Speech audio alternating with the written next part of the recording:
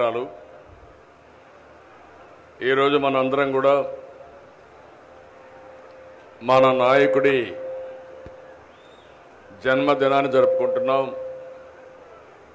తొంభై ఐదవ జన్మదినం. చరిత్రలో చాలామంది పుడతారు కానీ చాలామంది చనిపోతారు. ప్రజల గుండెల్లో ఉండే వ్యక్తులు కొందరు. అందులో మొదటి స్థానంలో ఉండే ఏకైక వ్యక్తి నందమూరి తారక రామారావు గారు అని చెప్పి కూడా నేను మీకు తెలియజేస్తున్నాను. ఈరోజు రాష్ట్రం మొత్తం జరుపుకునే ఏకైక పండుగ మహానాడైతే ఆ మహానాడు ఎందుకు పెట్టామని ఒకసారి ఆలోచించినప్పుడు మన నాయకుడి జన్మదినాన్ని జరుపుకోవడం కోసం అదే సమయంలో ప్రజలకు ఆయన అందించినటువంటి తెలుగుదేశం పార్టీ ఆయన జ్ఞాపకార్థంగా ఆయన స్ఫూర్తితో చరిత్రలో ఎప్పుడూ ఉండాలనే ఉద్దేశంతోనే మనం ఈ కార్యక్రమాన్ని చేసుకున్నాం. కొంతమంది కొన్ని సందర్భాల్లో మంచి ఎండాకాలం ఇప్పుడు పెట్టలేమంటే కూడా ఒకటి చెప్పాం. ఇది కరెక్ట్ కాదు. చరిత్ర ఉన్నంత వరకు తెలుగు జాతి గుండెల్లో ఉండవలసిన వ్యక్తి ఎన్టీఆర్. అది ఉండాలంటే ఆయన జన్మదిన రోజునే మహానాడు పెట్టాలనే ఉద్దేశంతో మనం పెట్టుకోవడం జరిగింది. ఈరోజు మీ ఉత్సాహం చూస్తున్నాను. ఆయన స్ఫూర్తి మీలు అందరిలో ఉంది. ఆయన ఒక ఆదర్శం. ఎందుకు నేను ఒక ఆదర్శం అంటున్నానంటే చాలామంది పుడతారు కానీ చరిత్ర సృష్టించే యుగ పురుషులు కొందరే ఉంటారు.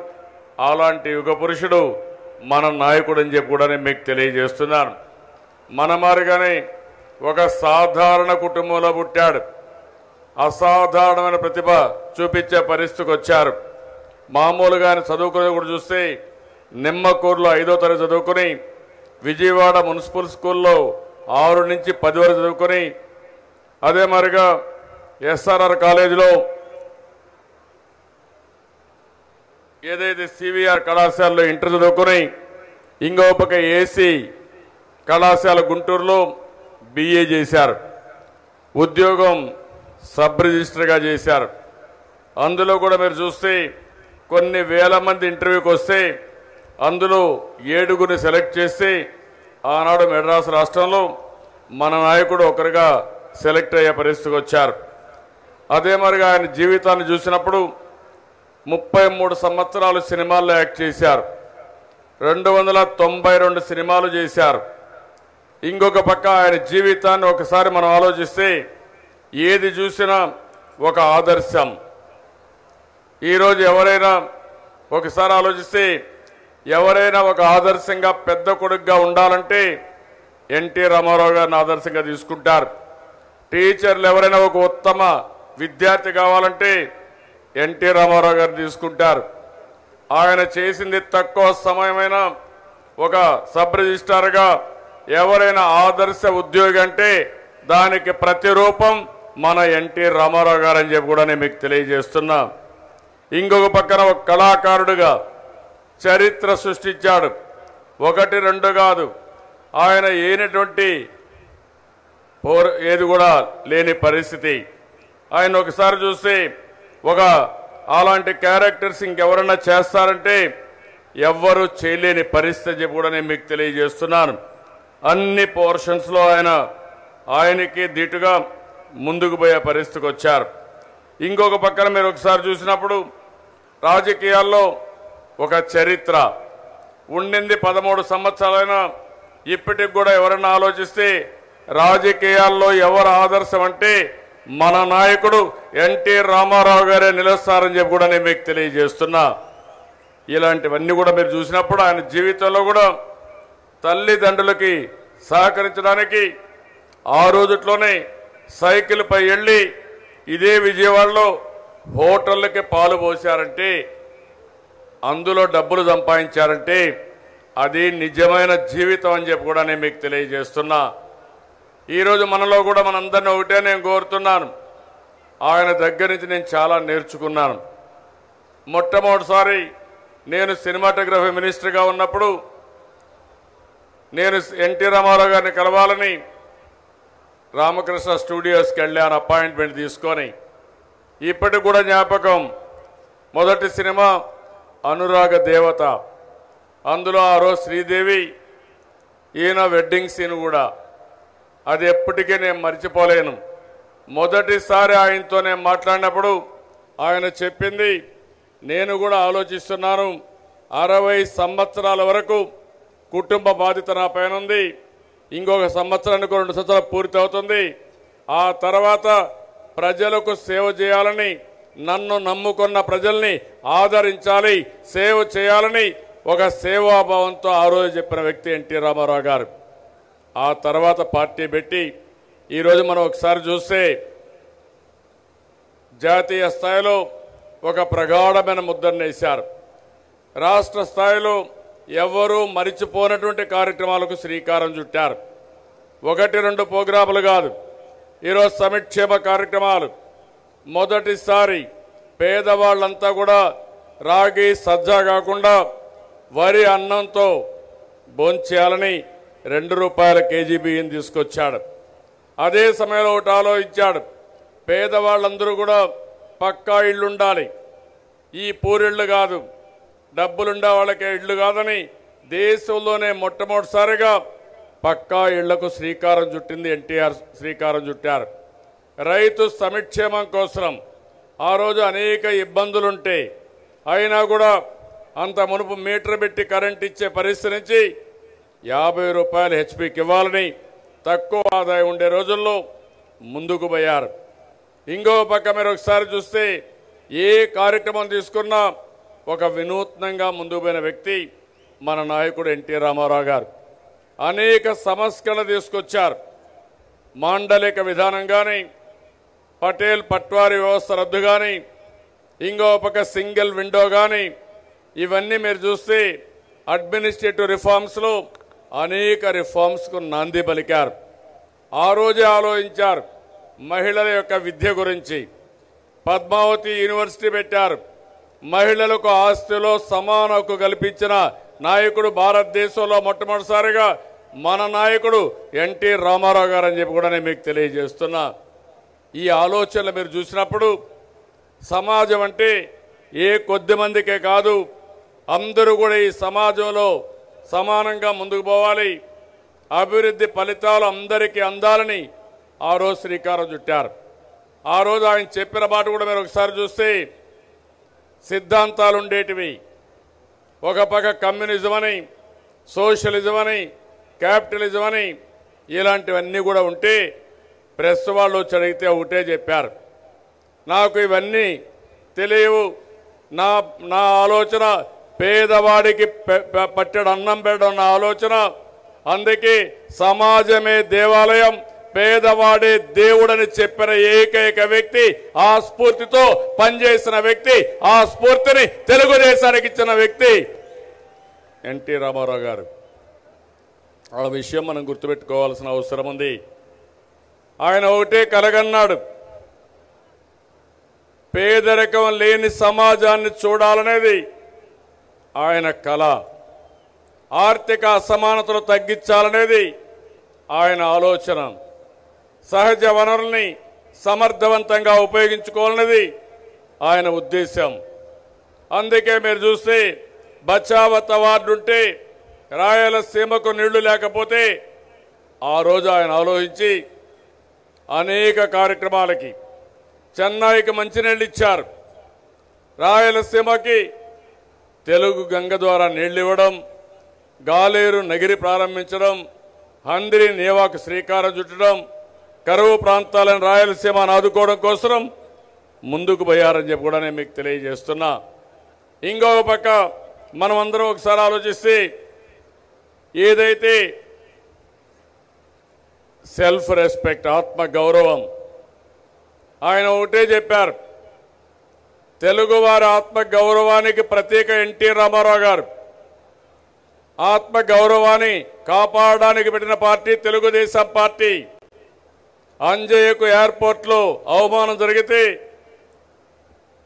ఆ రోజు ఐదు కోట్ల తెలుగు వారికి అన్యాయం జరిగిందనే ఉద్దేశంతోనే ఆ ఆవేశంతోనే తెలుగుదేశం పార్టీ పుట్టిన విషయం కూడా మీరు గుర్తుపెట్టుకోవాల్సిన అవసరం ఉంది. ఈరోజు అలాంటి మహానాయకుడి యొక్క జన్మదినం జరుపుకున్నప్పుడు ఈ సభ ద్వారా నేను అడుగుతున్నాను. నిన్న మొన్న నిన్న ఈరోజు చూశాను. మీ ఉత్సాహం చూస్తున్నాను. తమ్ముళ్ళు అందరూ హుషారుగా ఉన్నారా ఉత్సాహంగా ఉన్నారా లేదని మిమ్మల్ని అడుగుతున్నా. ఎన్టీ రామారావు గారు గుర్తున్నారా లేదా అని మిమ్మల్ని అడుగుతున్నాను. ఆ స్ఫూర్తి మనలో ఉందా లేదా అని మిమ్మల్ని అడుగుతున్నాను. ఆయన అప్పచెప్పిన బాధ్యత నెరవేర్చడం మన కర్తవ్యం అవునా కాదా అని మిమ్మల్ని అడుగుతున్నా. నెరవేరుస్తారా లేదా అని మిమ్మల్ని అడుగుతున్నా. ప్రతి ఒక్క కార్యకర్త ఒక ఎన్టీఆర్ కావాలి.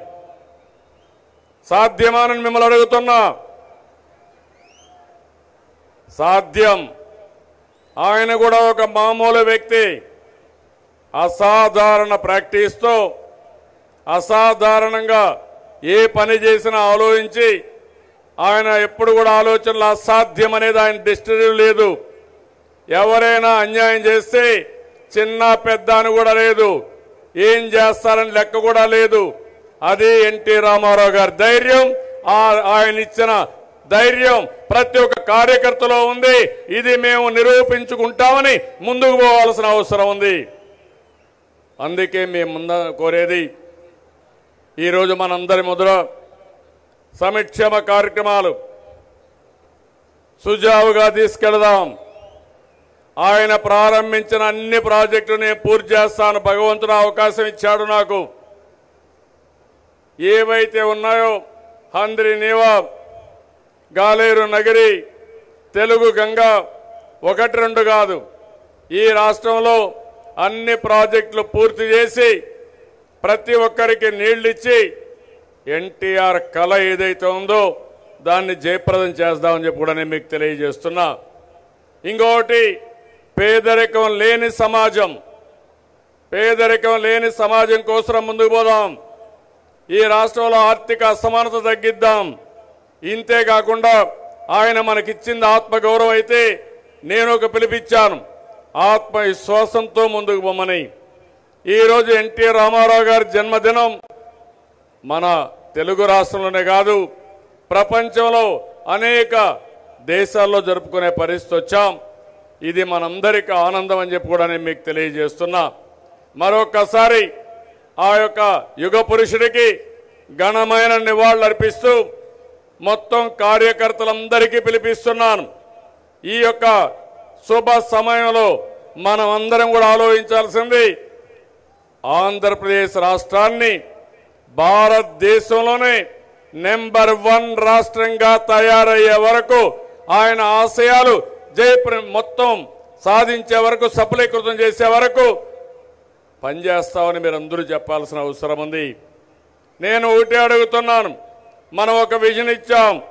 ఇరవై ఇరవై తొమ్మిది ఇరవై ఇరవై తొమ్మిదికి భారతదేశంలో నెంబర్ వన్ రాష్ట్రం ఏదంటే అది ఆంధ్రప్రదేశ్ కావాలి. అదే నిజమైన నివాళి మన నాయకుడికి ఇచ్చేదని చెప్పి కూడా నేను మీకు తెలియజేస్తున్నా. ప్రజలకు కూడా పిలిపిస్తున్నా. ఒక యుగ పురుషుడు పుట్టిన పార్టీ ప్రజల కోసం నిరంతరం చేసే పార్టీ అలాంటి యుగ పురుషుణ్ణి ఆరాధించే బాధ్యత ప్రతి ఒక్కరు తీసుకోవాల్సిగా కోరుకుంటూ ఇప్పటికి ఎంతో మందికి భారతరత్నాలు ఇచ్చారు. నిజమైన గౌరవం ఇవ్వాల్సిన వ్యక్తి మన నాయకుడు ఎన్టీ రామారావు గారు. నేను ఒకటి అడుగుతున్న కేంద్రాన్ని ఎందుకు భారతరత్న ఇవ్వరని అడుగుతున్నాను. అనేక తీర్మానాలు పెట్టాం. అయినా కూడా ఇవ్వలేదు. తప్పకుండా భారతరత్న ఎన్టీ రామారావు గారికి ఇవ్వాలని మరొక్కసారి తీర్మానం పెడదాం. అందరూ కూడా గట్టిగా చప్పట్లు కొట్టి హర్షాన్ని ఆమోదాన్ని తెలియజేయాలి. భారతరత్న ఇచ్చి తీరాలి. ఇది సాధిస్తాం. అదే సమయంలో ఎన్టీ రామారావు గారు శాశ్వతంగా గుర్తుండేట్టుగా మన రాజధానిలో బ్రహ్మాండమైన మెమోరియల్ని తొందరలోనే ప్రారంభిస్తున్నాం. శాశ్వతంగా గుర్తుండాలి. ఒక్కసారి ఎన్టీఆర్ యొక్క విగ్రహం చూసినా మెమోరియల్కి వచ్చిన ఆయన జీవితాన్ని ఒక స్ఫూర్తిగా తీసుకుని తద్వారా ఏ లక్ష్యం కావాలన్నా ఆ లక్ష్యాన్ని సాధించుకునే పరిస్థితి మనం తీసుకురావాల్సిన అవసరం ఉంది. అందుకని పని ఈ నెల రాబోయే నెలలో టెండర్లు కూడా పిలుస్తున్నాం పని ప్రారంభిస్తాం. రాష్ట్రంలో దేశంలో ఎక్కడా లేని విధంగా ఎన్టీఆర్ మెమోరియల్ వస్తుంది. ఆ మెమోరియల్ ద్వారా ఆయన ఆశయాలకు ఏ ఆశయాల కోసం పనిచేశారో అవన్నీ కూడా అక్కడ చూపిస్తున్నాయి. ఆశయ సిద్ధి కోసం జాతిని అంకితం చేసే బాధ్యత కూడా తీసుకుంటామని చెప్పి నేను మీకు తెలియజేస్తున్నాను. అదే మరి ఈ సంవత్సరం ఎన్టీఆర్ను గురించి స్కూల్స్లో కూడా చదువుకోవాల్సిన అవసరం ఉంది. చాలామంది ఎన్టీఆర్ గురించి మర్చిపోయే పరిస్థితి వస్తారు కొత్త తరాలు. అందుకని ఆయన స్ఫూర్తి జ్ఞాపకం ఉండాలంటే ఎన్టీఆర్ గురించి కూడా పాఠ్య పుస్తకాల్లో ఉండవలసిన అవసరం ఉంది. ఇంకో పక్క బాలకృష్ణ గారిని మనస్ఫూర్తిగా అభినందిస్తున్న ఆయన బయోపిక్ పిక్చర్ని తొందరలోనే తీసి సంక్రాంతికి విడుదల చేయాలని ఆలోచనతో ఉన్నారు. గట్టిగా అందరూ కూడా అభినందించి ఆశీర్వదించి ఒక బ్రహ్మాండమైన బయోపిక్ రావాలి. ఇది శాశ్వతంగా మనకు గుర్తుండే విధంగా భావి తరాలకు ఆదర్శం అయ్యే విధంగా మనందరం కూడా స్ఫూర్తి పొందే విధంగా పిక్చర్ రావాలని కోరుకుంటూ మరొక్కసారి ఈ తీర్మానాన్ని ఏకగ్రీవంగా అందరూ బలపరచవలసింది ఇంకొకసారి మిమ్మల్ని అందరినీ కోరుతున్న గట్టిగా చప్పట్లు కొట్టి మన నాయకుడికి ఘనమైన నివాళులర్పించండి నిన్న ఈరోజు మన అరేంజ్మెంట్స్ అన్నీ మీరు చూశారు. ఎప్పటికప్పుడు మీ అరేంజ్మెంట్స్ ఎట్లున్నాయో రాత్రి కూడా నేను ఒకసారి టెలికాన్ఫరెన్స్ పెట్టుకొని మళ్ళీ అడిగాను మన ఆర్గనైజర్స్ అందరినీ. ఇక్కడికి వచ్చినప్పుడు అన్ని మహానాళ్ళ కంటే ఈసారి మహానాడులో మీ ఉత్సాహం చూస్తామంటే ఒక పట్టుదల పెరిగింది మీలో. ఒకటే ఆలోచిస్తున్నారు. కేంద్రం అన్యాయం చేసింది దగా చేసింది మోసం చేసింది నమ్మక ద్రోహం చేసింది మేం వదిలిపెట్టాం. ఈ సంవత్సరం కష్టపడతాం. తిరిగి తెలుగుదేశం పార్టీ అధికారంలోకి వచ్చే వరకు అన్ని సీట్లు గెలిపించే వరకు కేంద్రానికి గుణపాఠం చెప్పే వరకు పోరాడతామని స్వచ్ఛందంగా మీలోనే ఆ స్ఫూర్తి వచ్చే పరిస్థితి వచ్చింది. అన్ని మహానాడులు ఎప్పుడు కూడా ఇంత ఉధృతంగా మీరు రాలేదు. ఈసారి మాత్రం ఒక ఉధృతంగా వచ్చారు. చాలా గట్టిగా పనిచేయాలని దృఢ సంకల్పంతో మీరు రావడం జరిగింది. అవునా కాదా అని మిమ్మల్ని అడుగుతున్నా. నూట డెబ్బై ఐదు సీట్లు గెలుస్తామా లేదా అని మిమ్మల్ని అడుగుతున్నా. ఇది చారిత్రక అవసరం అవునా కాదా అని మిమ్మల్ని అడుగుతున్నా. నమ్మక ద్రోహం చేసిన పార్టీకి గుణపాఠం చెప్పాల్సిన బాధ్యత ఉందా లేదా అని మిమ్మల్ని అడుగుతున్నా. ఈరోజు కూడా అమిత్ షా గారు మాట్లాడుతున్నారు. మనకేదో రాజధానికి మొత్తం డబ్బులు ఇచ్చారని మీరిచ్చింది పదహైదు వందల కోట్లు. విజయవాడ గుంటూరుకి మీరు ఇచ్చింది వెయ్యి కోట్ల రూపాయలు. అండర్ గ్రౌండ్ డ్రైనేజీకి సేవరేజ్ కోసం మీరు ఇచ్చింది వెయ్యి కోట్ల రూపాయలు. మొత్తం అమరావతిలో పనులే కాలేదని. ఏదో మనం ఏదో సింగపూర్కి ఏదో పంపి ప్లాన్స్ పంపించామని ఇప్పటికి ఏమాత్రం కాలేదని మాట్లాడే పరిస్థితికి వచ్చారు. అంటే పదహైదు వందల తొమ్మిది కోట్లకు సంబంధించిన బిల్లులు వారికి పంపించాం. అంటే ఇంకొక పక్కన ఇవన్నీ మీరు పంపిస్తే ఇవన్నీ నిజమైన యూసెస్ కావని మాట్లాడే పరిస్థితి వస్తున్నాడు. స్వీయ ధృవపత్రాలను కాదు లేకుంటే అవన్నీ కూడా మనమేదో స్వీయ ధృవపత్రాలని. ఆ రోజు ఎన్టీ రామారావు గారు కూడా చెప్పింది కేంద్రానికి రాష్ట్రాలు బానిసలు కాదు. కేంద్రం ఒక ప్రభుత్వం రాష్ట్రం ఒక ప్రభుత్వం రెండు ప్రభుత్వాలు కూడా సావరెన్ పవర్స్ ఉండే ప్రభుత్వాలు.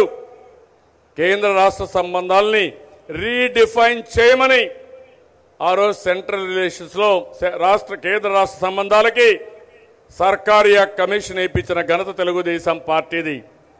ఇటీవల కేంద్ర నాయకులు మాట్లాడుతున్నారు. మనం ఏదో యూసీసీ పంపలేదని. యూసీసీ పంపించాం మీ డిపార్ట్మెంట్లకి. మీరు వెరిఫై చేసుకోవాల్సిన అవసరం ఉంది. ఈ విషయాలే దేశం అంతా కూడా చేసి చూపించాను. మొత్తం ఏమేం పంపించామో చెప్పాం. ఇక్కడ ఒక విషయం గుర్తుపెట్టుకోవాలి. మీరు ఒక పద్ధతి ప్రకారం చేయాలి. నేను యూసీలు పంపించిన తర్వాత సరి అయిన యూసీలని చెప్పి నీతి ఆయోగ్ డబ్బులు రిలీజ్ చేయమని డిపార్ట్మెంట్కి పంపిస్తే అవి కరెక్ట్ కాదని మీరు మాట్లాడుతున్నారు. అంటే ఒక జాతీయ స్థాయిలో ఉండే నాయకులు మాట్లాడే తీరుది కాదు. హూందాతనం ఉండాలి పద్ధతి ఉండాలి వాస్తవాలకు దగ్గరగా మాట్లాడాలి. అట్లా కాకుండా ఏది మాట్లాడినా చెల్లుతుందనే విధంగా ఇష్టానుసారంగా మాట్లాడే పరిస్థితికి వస్తున్నారు. అంటే ఇంకొక పక్క మీరు ఆ రోజు మాటలు చెప్పారా లేదని మిమ్మల్ని అడుగుతున్నాను. ఈరోజు మీరు చూస్తే ఇరవై నాలుగు వేల కోట్లకి వర్కులు టెండర్లు పిలిచాం. కొన్ని పనులు పూర్తి అవుతున్నాయి కొన్ని బిల్డింగులు పూర్తి అవుతున్నాయి నేను అందుకనే ఒక మాట చెప్పాను. రైతులు ఈ ప్రభుత్వం పైన నమ్మకం పెట్టుకుని ముప్పై మూడు వేల ఎకరాలు యాభై వేల కోట్ల రూపాయలు విలువ చేసే భూమి ఇస్తే కనీసం మీరు చెప్పిన మాటపై నిలబెట్టకుండా డబ్బులు ఇవ్వకుండా మొండుకేసి ఇప్పుడు ఎదురుదాడి చేసే పరిస్థితికి వస్తున్నారు. ఎప్పుడో సింగపూర్ ప్లాన్స్ ఇచ్చారు మాస్టర్ ప్లాన్ డీటెయిల్స్ అన్నీ. అక్కడి నుంచి అందరికీ ల్యాండ్స్ ఇచ్చాం. ఈరోజు మొత్తం టెండర్లు కూడా పిలిచాం. మొత్తం నాలుగు వేల క్వార్టర్లు ఐఏఎస్ ఆఫీసర్లకి లేకపోతే ఎమ్మెల్యేలకి ఉద్యోగస్తులకి అన్ని కూడా టెండర్లు పిలిచాం. అదే మరి హైకోర్టు బిల్డింగ్ పిలిచాం. అదే మరి తొందరలోనే ఇంకో పక్క మీరు చూస్తే నలభై ఐదు లక్షల ఎస్ఎఫ్టీకి ఇప్పటికే టెండర్లు పిలవడం జరిగింది. ఇవన్నీ కూడా వాస్తవాలు ఈ విధంగా ఉన్నప్పుడు మొత్తం మీరు చూసినప్పుడు master plan capital area capital region అని చెప్పి అన్నిటికి కూడా ప్లాన్స్ అన్నీ మన దగ్గరనే ఉన్నాయి. అంటే కావాలని మనల్ని దెబ్బతీయాలని తప్పుడు ప్రచారం చేయాలని మాట్లాడుతున్నారు. నేను అడుగుతున్నా ప్రత్యేక హోదాకి ఏ యూసీ కావాలని అడుగుతున్నా? ఎందుకు ఇవ్వరని నేను అడుగుతున్నా? ఇది మా హక్కు. ఆంధ్రుల హక్కు ప్రత్యేక హోదా ఇవ్వకపోతే తగిన గుణపాఠం తప్పదని మరొక్కసారి కేంద్రాన్ని హెచ్చరిస్తున్నా. లోటు బడ్జెట్ ఏ యూసీ కావాలని అడుగుతున్నా మీకు. ఆ రోజు చెప్పారు పదహారు వేల కోట్ల రూపాయలు. ఎందుకు ఇవ్వరని చెప్పి అడుగుతున్నాను. అది కూడా ఇవ్వకుండా దెబ్బతీసే పరిస్థితికి వచ్చారు. ఈరోజు ఇంకో పక్క పోలవరం ప్రాజెక్టు మనం పంపిస్తే అవి కూడా డబ్బులు ఇవ్వకుండా పోలవరం అథారిటీకి పంపించినా కేంద్రానికి పంపించినా అవి కూడా డబ్బులు ఇవ్వలేని పరిస్థితిలో ఉన్నారు. అంటే వీళ్ళు కావాలని తప్పుడు ప్రచారం చేస్తున్నారు. నేను మిమ్మల్ని అందరినీ కోరుతున్నా ప్రతి ఒక్క కార్యకర్త ఉధృతంగా ప్రజల్లోకి తీసుకెళ్ళాలి. ప్రజల్లో చైతన్యం తీసుకురావాలి. రేపు రాబోయే రోజుల్లో వీళ్ళ డ్రామాలన్నీ మనం చూస్తా ఉంటే వైఎస్ఆర్ కాంగ్రెస్ పార్టీని మిగిలిన వ్యక్తుల్ని పవన్ కళ్యాణ్ అందరినీ ఉపయోగించుకుని మన మీద దాడి చేస్తూ ఇప్పుడు మాట్లాడుతున్నారు మళ్ళీ. మేమేదో పోటీ చేస్తామని. మీరు పోటీ చేస్తే ఈ ఆంధ్ర రాష్ట్రంలో ఒక్క శాతం కూడా మీకు ఓట్లేసే వాళ్ళు లేరు. ఈ విషయం మీరు గుర్తుపెట్టుకోవాల్సిన అవసరం ఉంది. అనవసరంగా ఒక రాష్ట్రంతో పెట్టుకోవద్దండి. ఒక జాతికి అన్యాయం చేయొద్దండి. ఇది మంచి పద్ధతి కాదు. పని చేయకుండా రెచ్చగొట్టే విధానం తప్పులు వెతికే విధానం సరైన పద్ధతి కాదని మరొకసారి కేంద్రాన్ని అడుగుతున్నా హెచ్చరిస్తున్నా ఇది మంచి పద్ధతి కాదని చెప్పి కూడా నేను మీకు తెలియజేసుకుంటున్నాను. అందుకని అమిత్ షా ఏదైతే నిన్న స్టేట్మెంట్ ఇచ్చాడో ఇది తప్పని ఇలాంటి తప్పుల్ని మేము ఉపేక్షించమని గట్టిగా చప్పట్లు కొట్టి మీరందరూ కూడా ఆమోదించాల్సిన అవసరం ఉంది.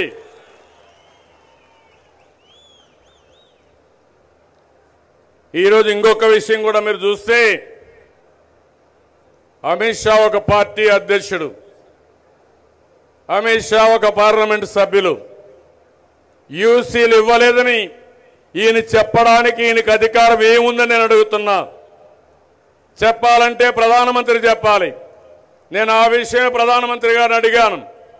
నేను యూసీలు పంపించానా లేదా మీ మంత్రులు చెప్పానండి ప్రధానమంత్రిని చెప్పానండి అప్పుడు మేము సమాధానం చెప్తాం తప్ప అమిత్ షా లాంటి వ్యక్తులు అనవసరంగా అడ్మినిస్ట్రేషన్లో ఇన్వాల్వ్ కావడం మంచిది కాదని మరొకసారి విజ్ఞప్తి చేస్తున్నా గట్టిగా చెప్తున్నాను. అవునా కాదా తమ్ముళ్ళు? ఒక జనరల్ సెక్రటరీనో ఒక పార్టీ అధ్యక్షుడు మన దీనికి వచ్చి గవర్నమెంట్ మీద విమర్శలు చేయడం కరెక్ట్ కాదని చెప్పి కూడా నేను మీకు తెలియజేస్తున్నాను. ఇటీవల మాట్లాడుతున్నారు.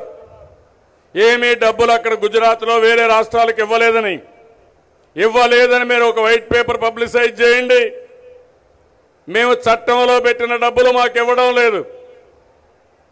ఆనాటి ప్రధానమంత్రి అనౌన్స్ చేసినటువంటి ప్రత్యేక హోదా మీరు ఇవ్వలేదు.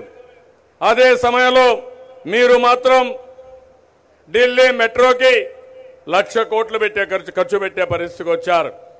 లేకపోతే తొంభై ఎనిమిది వేల కోట్లతో డోలేరా నగరం గుజరాత్ నిర్మించుకోవాలనుకుంటున్నారు.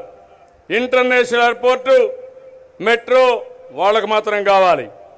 అదే మరి మనకు మాత్రం పదహైదు వందల కోట్ల రూపాయలు ఇచ్చి ఏ మూలకు సరిపోతాయో మీరే సమాధానం చెప్పాల్సిన అవసరం ఉంది. మీరు వేరే గుజరాత్ కానీ వేరే రాష్ట్రాలకు ఎంత డబ్బులు ఇచ్చారు? ఈ రాష్ట్రానికి ఎంత ఇచ్చారు? నిన్న కూడా అడిగాను. తెలుగు రాష్ట్రాలకు ఎంత ఇచ్చారో మీరు చెప్పాల్సిన అవసరం ఉంది. ఒక్క పైసా మీరు ఇవ్వకుండా మీరు మాయ మాటలు మాట్లాడడం కరెక్ట్ కాదని చెప్పి కూడా మరొక్కసారి గట్టిగా ఖండిస్తున్నాను గర్హిస్తున్నాను. ఈరోజు ఇంకొక పక్కన మీరు చూస్తే నిన్న ఫీడ్బ్యాక్ అంతా చూసినప్పుడు మనం ఎప్పటికప్పుడు సమాచారం తెప్పిస్తున్నాం. మహానాడులో సభా ప్రాంగణ ఏర్పాట్లు ఎలా ఉన్నాయంటే ఎనభై రెండు పర్సెంట్ బాగా ఉన్నాయని చెప్పారు. అల్పాహార సదుపాయాలు ఎలా ఉన్నాయంటే డెబ్బై తొమ్మిది శాతం బాగుందన్నారు. మధ్యాహ్న భోజనం ఎనభై రెండు శాతం బాగుందన్నారు. సభా నిర్వహణ ఎట్లుందంటే ఎనభై మూడు శాతం బాగుందన్నారు. మంచినీరు అందించిన విధానం ఎనభై మూడు శాతం బాగుందన్నారు. సాంస్కృతిక కార్యక్రమాలు డెబ్బై ఎనిమిది శాతం. పార్టీ ప్రజల నమోదు కార్యక్రమం ఎనభై శాతం. కార్యకర్తలకు ఏర్పాటు చేసిన రవాణా సౌకర్యం డెబ్బై ఏడు పాయింట్ ఐదు శాతం. కార్యకర్తల కొరకు ఏర్పాటు చేసిన వసతిగృహాలు డెబ్బై ఎనిమిది పాయింట్ ఎనిమిది శాతం. మహానాడు ప్రాంగణం మరియు రోడ్ల పరిశుభ్రత ఎనభై శాతం. కార్యకర్తల కోసం ఏర్పాటు చేసిన మరుగుదొడ్లు నిర్వహణ డెబ్బై ఐదు శాతం. రక్తదాన శిబిరం ఎనభై ఆరు శాతం. ఫోటో ఎగ్జిబిషన్ ఎనభై ఏడు శాతం. ప్రాంగణంలో సభావేదిక అలంకరణ ఎనభై నాలుగు పాయింట్ ఐదు శాతం. వాలంటీర్ల పనితీరు ఎనభై శాతం. మహానాడులో మజ్జిగ అందించిన విధానం ఎనభై ఐదు శాతం. మేనిఫెస్టో హామీలన్నీ నాలుగేళ్ళలో అమలు ఎనభై ఒక్క శాతం. ఉత్తమ ఈ యొక్క రిజల్యూషన్ రెజల్యూషన్ చూస్తే అత్యుత్తమ రాష్ట్రంగా ఆంధ్రప్రదేశ్ మీద విజన్ మీద ఎనభై మూడు శాతం. ఆంధ్రప్రదేశ్ విభజన చట్టం పైన ఎనభై ఆరు పాయింట్ ఐదు శాతం. రైతు సాధికారత లాభసాటి వ్యవసాయం పైన ఎనభై మూడు శాతం. విద్యుత్ రంగ విజయాలు ఎనభై ఐదు శాతం. తెలంగాణ టీఆర్ఎస్ది టీఆర్ఎస్ పాలనలో కొరవడిన సామాజిక న్యాయం డెబ్బై ఏడు శాతం. తెలంగాణలో సంక్షోభల వ్యవసాయం డెబ్బై తొమ్మిది శాతం. నిన్న ఆమోదించారు. దీని ప్రకారం మీ యొక్క ఇది తెలియజేయడం జరిగింది. ఇంకొక పక్కన ఈరోజు కేంద్రాన్ని చూస్తే మనం కూడా ప్రతిరోజు మెరుగైన సేవలు ఇవ్వడానికి మనం వర్కౌట్ చేస్తున్నాం. కానీ ఆయన చెప్పేది డెబ్బై రెండు కోట్ల మంది ప్రభుత్వ పథకాలు వినియోగించుకుంటున్నారు. వారందరి సెల్ ఫోన్లు మా దగ్గర ఉన్నాయి అని ఈరోజు మాట్లాడుతున్నారు. సెల్ ఫోన్లు ఉంటే మెరుగైన సేవలు చేయడానికి ఉపయోగించుకోండి. మన ఆర్టీజీలో ఉపయోగిస్తున్నాం. ఆర్టీజీలో ఏ కార్యక్రమం చేసినా ఎప్పటికప్పుడు సమాచారం సేకరించి సక్రమంగా జరుగుతున్నాయా లేదా అని మనం కనుక్కొని సరిదిద్దడానికి ఉపయోగిస్తున్నాం. ఇప్పుడు అమిత్ షా గారు మాత్రం బెదిరించడానికి ఉపయోగిస్తున్నారు. అంటే మా దగ్గర ఫోన్లు ఉన్నాయి ఒకవేళ కనుక మా మాట వినకపోతే మేము ఓట్లు వేయమనే విధంగా రేపు రాబోయే రోజుల్లో పనులు చేయమనే విధంగా బెదిరిస్తున్నారు. ఇది మంచి పద్ధతి కాదని చెప్పి కూడా నేను మీకు తెలియజేసుకుంటూ ఏది ఏమైనా సరే అమిత్ షా చేసింది కరెక్ట్ కాదు. ఇవ్వకుండా ఇచ్చామని చెప్పడం దుర్మార్గం. ఇచ్చిన సర్టిఫికెట్ని తప్పుపడడం మరీ దుర్మార్గం. ఒక పార్టీ అధ్యక్షుడిగా మీకు అవకాశం లేకపోయినా ప్రభుత్వం తరపున నిందించడం ఇంకా బాధాకరం అని చెప్పి కూడా నేను మీకు తెలియజేస్తూ మరొక్కసారి నేను మిమ్మల్ని అడుగుతున్నాను. ఈరోజు మనందరూ ఇక్కడ కూర్చున్నాం. అందరూ కూడా మార్నింగ్ ఉదయం బ్రేక్ఫాస్ట్లు కానీ నిన్న వస్తువులు కానీ కరెక్ట్గా ఉన్నాయని మీరు భావిస్తున్నారా? బాగా ఉన్నాయా? భోజనం బాగానే ఉందా? ఇల్లు మరిచిపేటుగా ఉన్నాయా? బాగా ఉన్నాయంటే గట్టిగా చేలు పైకి చూపించండి. అరేంజ్మెంట్స్ అన్ని తృప్తికరంగా ఉన్నాయంటే గట్టిగా చప్పట్లు కూడా చెప్పండి. అన్ని తీర్మానాలపైన మీ సూచనలు కూడా ఇవ్వండి. కొంతమంది మాట్లాడలేరు. అవకాశాలు ఉండవు. అలాంటి వారు మీ సూచనలు ఇస్తే అవి కూడా వ్యూలో పెట్టుకుని మనం ఏ విధంగా అవన్నీ ఇంప్రూవ్ చేయాలనో ఇంకా ఇంప్రూవ్ చేయడానికి ముందుకు పోతామని చెప్పి కూడా నేను మీకు తెలియజేసుకుంటూ చేస్తారని చెప్పి ఆశిస్తూ అందరికీ నమస్కారాలు. జై హింద్.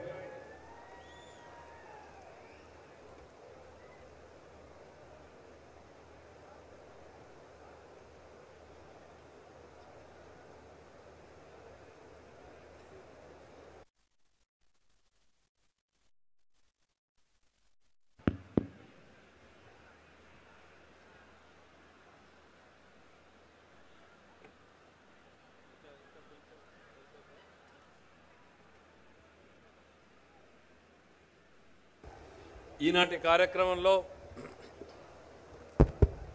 రెండవ రోజు కార్యక్రమంలో ఘనమైన నివాళిని అర్పిస్తూ సభా కార్యక్రమాన్ని ఇప్పటిదాకా చూసాం ఆలస్యంగా కొనసాగుతోంది. తర్వాత తీర్మానం అత్యంత ప్రాముఖ్యమైనటువంటిది. మన తెలుగుదేశం పార్టీ ఆవిర్భావం సామాజిక న్యాయం రాజకీయ చైతన్యం ఈ తీర్మానాన్ని ప్రవేశపెట్టాల్సిందిగా ఏంటండి? వీడియో నచ్చిందా? అయితే ఓ లైక్ వేసుకోండి. లేదంటే ఓ కామెంట్ చేయండి. ఎప్పటికప్పుడు మా వీడియోస్ చూడాలంటే సబ్స్క్రైబ్ చేసుకోండి.